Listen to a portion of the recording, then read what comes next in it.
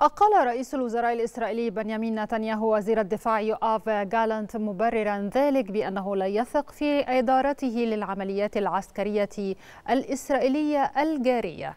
وأعلن مكتب رئيس الوزراء الإسرائيلي في بان أن نتنياهو عين وزير الخارجية إسرائيل كاتس وزيرا جديدا للدفاع.